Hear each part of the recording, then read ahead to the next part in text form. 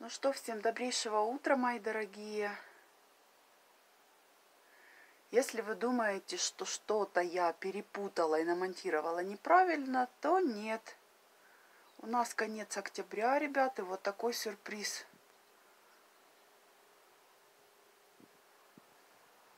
Когда утром я услышала от мужа, ой, снежно, ну, я продолжала, знаете, себе спать. Вчера об этом все только и говорили, что передавали вот такую вот снежную бурю. Ну, знаете, в штате Колорадо здесь так погода сильно меняется, что никого не удивляет даже снег иногда э, в разгаре лета. Были у нас такие природные катаклизмы, немножечко присыпало снежком. Ну, естественно, это все быстро тает, и потом через день-два вот снова все в порядке. Вот, но выйдя на балкон, у меня, знаете, вот такая немая сцена получилась. Реальное ощущение зимы. Смотрите, сколько снега. И по словам мужа, завтра будет супер холодно. Вау. Ну вот такого поворота событий я точно не ожидала. Потому что сейчас конец октября, ребят. И это реальная зима.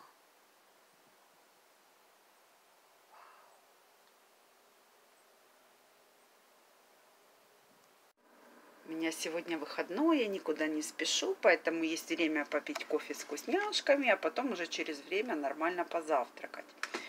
В общем, буду я, как всегда, готовить свой любимый лаваться. Вот сколько не пробую, ребят, пока вот это мой любимый кофе. Вот. Как ни крути. И вместо обычного кримера, который у меня на данный момент практически каждое утро, это вот этот, коллаген кример, я уже его показывала. Ну, решила, да, согрешить. Э, жирного виппинг-крима не оказалось, как я люблю супер стронг кофе и виппинг-крим. Поэтому вот такое молоко у нас есть.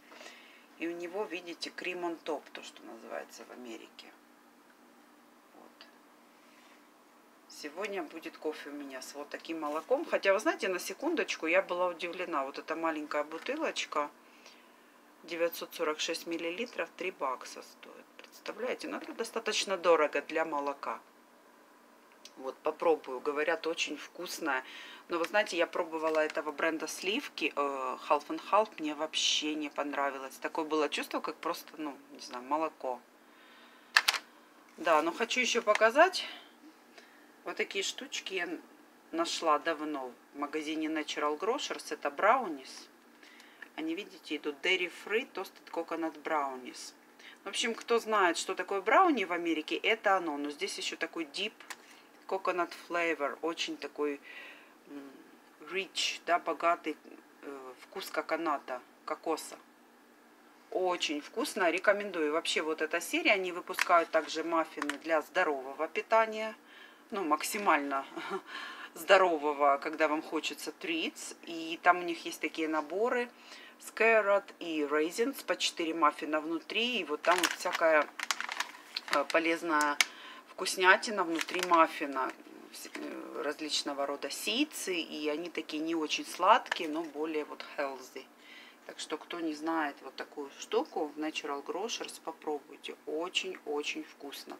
Но вот эти, конечно, мои любимые. Так, друзья, все сидят по домам. Воскресенье. Ну, это, конечно, вот ощущение полной зимы. Вот я первая, кто выходит из нашего конда. Смотрите. Идеально гладкая поверхность. Сейчас покажу, сколько снега.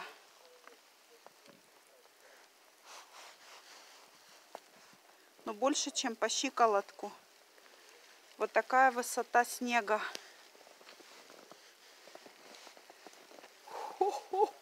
Я даже не знаю, сможем ли мы с мужем выехать на машине.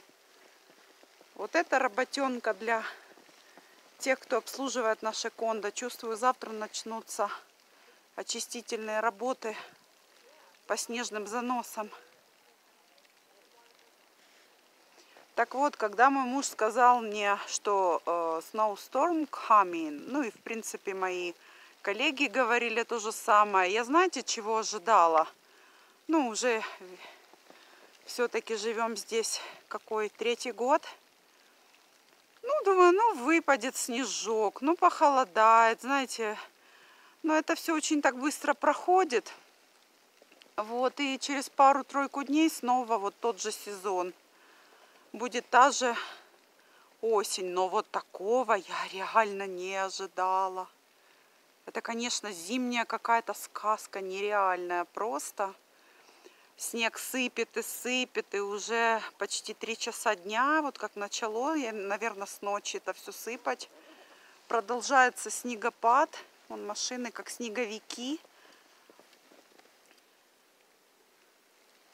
Мы э, зажгли fireplace и сидим дома, выглядываем в окно.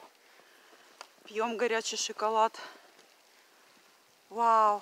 Да, так вот мой муж сказал, что в принципе для штата Колорадо, особенно тех э, эйри, которые прилегают к горной местности, как наши, да, Steamboat Springs, это нормально. Наоборот, если не было в октябре сноусторма, это значит, что что-то не так с зимой будет. Поэтому классно, что вот все-таки сноусторм, снежный шторм, он пришел. Вот как-то так, да. И у нас же вы в курсе, пожары не прекращаются то один, то другой. Вот. И вот это в данном случае во благо. Надеюсь, что пришедшая снежная буря поможет вот погасить все вот эти полыхающие леса и территории. Так, ну а мы попробуем проехаться в супермаркет. Привет всем поближе, мои дорогие. Это вообще Атас. Не то чтобы нам прямо, ну, очень необходимо было в магазин, но вот вы знаете, люблю я снег, видно, соскучилась за годы проживания и бесснежья в Украине за этим чудом. И несмотря на то, что да, холодно, э, кто-то пытается наоборот избежать вот этой холодины. Я не скажу, что я полюбила холод, но снег я по-прежнему обожаю. И вот вы знаете, сидя дома, у меня э, и наблюдая за тем, как снежинки парят в воздухе, у меня в душе наступает какое-то такое умиротворение и покой. Вот я вам этого передать не могу. Не знаю, как быстро у меня это закончится, и сколько мне лет понадобится прожить в Колорадо, чтобы наоборот, не знаю, возненавидеть все это. Но пока я реально наслаждаюсь.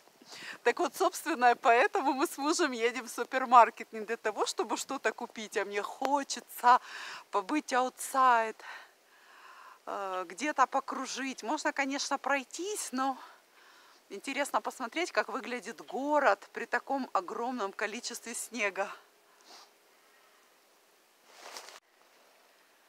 Стою, жду мужа, думаю, ну где же он застрял? И тут до меня доходит, ребят, чем он занимается. Ну, наверное, откапывает нашу машину а снеговик. Потому что, видите, какие кучугуры на крышах машин.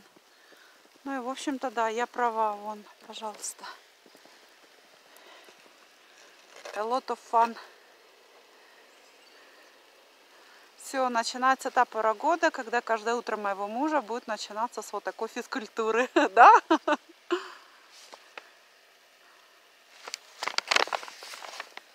Так, вот так вот мне делали мамограмму, переодели в такой халатик.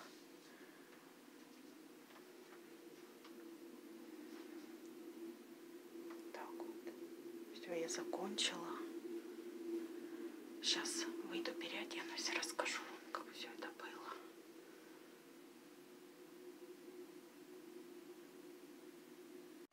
Так, ну начнем с позитива. Очки я свои забыла. Вот, хотя сто раз говорю, в Колорадо нужно с собой носить очки в любое время года, потому что солнце такое, что глаза очень трудно держать широко открытыми. В общем, у нас супер зима. Вот такой колотун. Елочки в снегу. В общем, что я хочу вам сказать. Ребят, я иду сейчас... Фу, после маммограммы меня просто колотит. Вот честно. Вы знаете, вот в очередной раз думаю, какая у женщины тяжелая доля. Я сейчас не буду обсуждать взросление, эти все э, periods, потом там ты беременность, э, гормоны, э, я не знаю, там фигура портится, то ты толстеешь, что ты борешься с этим лишним весом, потом вот эта менопауза, это ход – Э, я не знаю, cold. В общем, я не знаю, быть женщиной это вообще, э, ну не знаю, героизм, вот честно вам скажу. Вот, так еще и проверяться нужно регулярно, да? Так вот, я сделала маммограмму, решилась, потому что моя последняя маммограмма, наверное, была лет 10 назад, если не больше. Ну и, как вы понимаете, все-таки рекомендации Минздрава, они не просто так сделаны, нужно проверяться где-то. Ну вот в Америке мне сказали, каждый год они рекомендуют делать это женщинам после 40. Раньше было раз в два года. Ребята, извините, вообще не знаю, какое освещение, я ничего не вижу. Такое яркое солнце. Ну, в общем, думаю, ладно, последний раз я была на маммограмме 10 лет назад. Ну, извините, уже за 40, наверное, все-таки нужно провериться. Но это было таз. Вот я сейчас иду, фу, и меня до сих пор колотит. А, ну, во-первых, оборудование уже давно поменялось по сравнению с тем, как это было у меня в прошлый раз. Боже, как они там мою бедную грудь сжимали этими аппаратами. Я там один раз верещала так, что в дверь кабинета постучали и спросили, все ли у вас нормально. Это, блин, больно, капец просто. Ой. Я у нее спрашиваю, «А как вы делаете, извините, маммограмму? Я не думала, что это нужно вот так вот все сжимать под разными э, углами. Как вы делаете маммограмму женщинам, у которых там нулевой размер груди? Вот мне вот интересно. В общем, не знаю, как они с этим справляются. Но я сейчас реально под впечатлением, в кавычках. Это было больно. Это был трендец. Я вспотела, наверное, раз 10. Ну, в общем, для меня это был какой-то шок и торчи. Вот не знаю, дай бог все это пройти чтобы все было нормально, и, ну, вряд ли я побегу на следующий год делать маммограмму, не, как-то это, фух.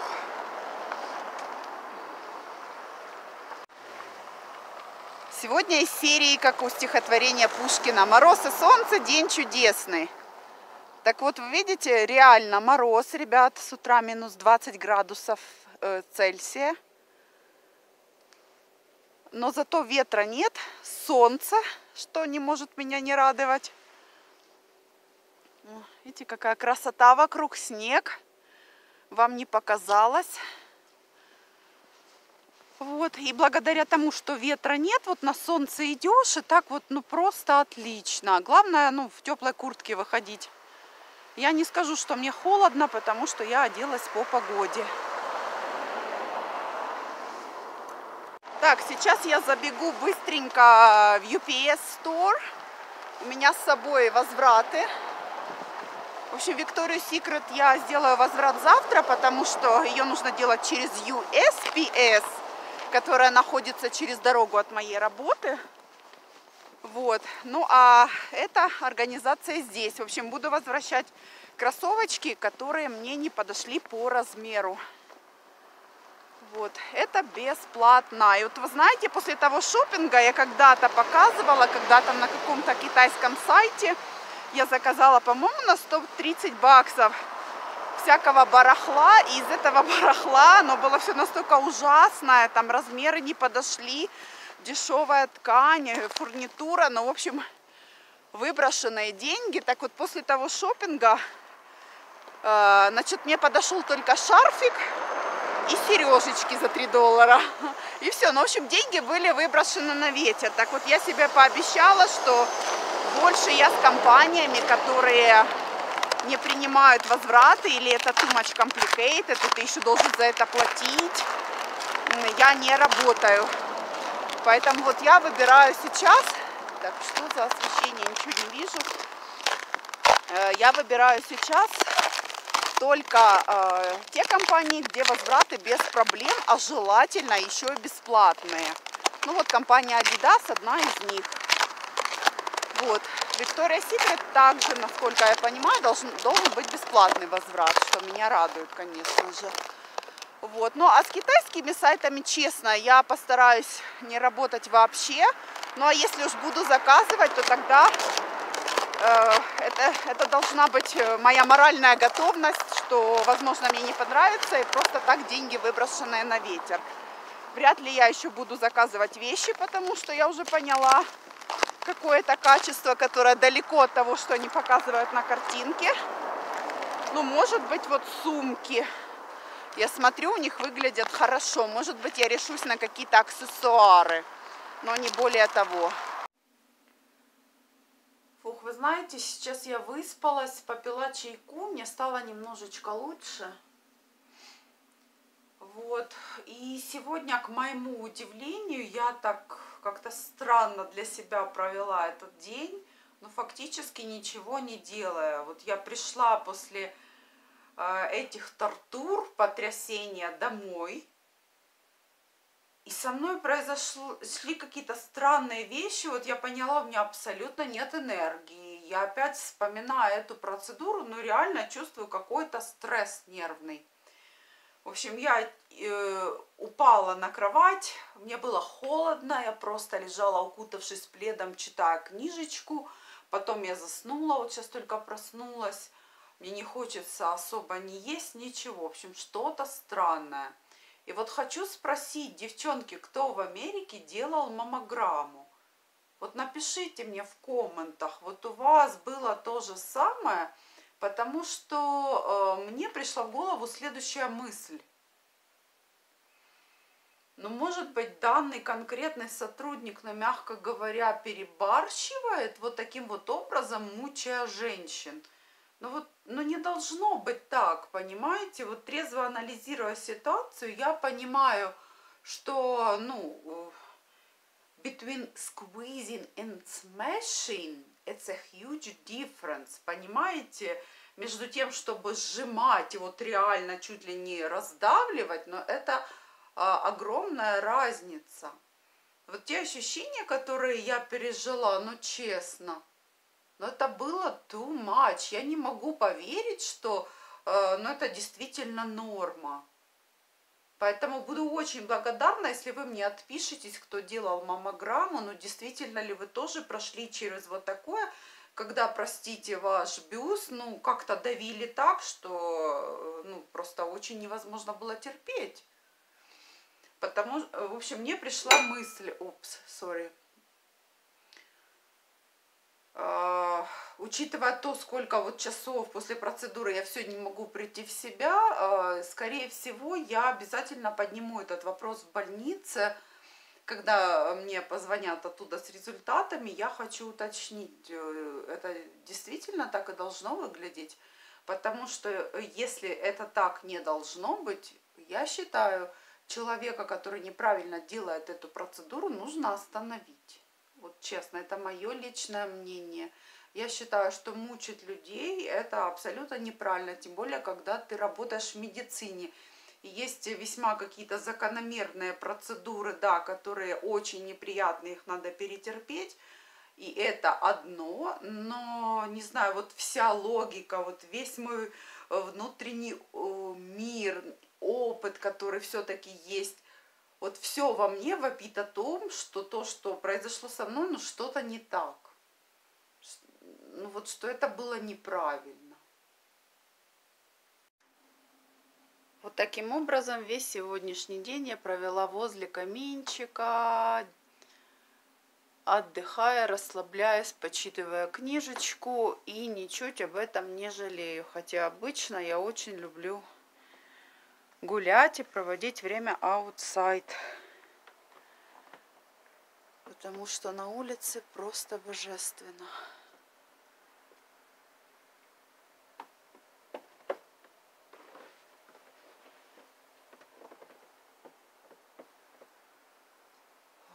Ну, на этом всем пока-пока. До следующих видеорепортажей.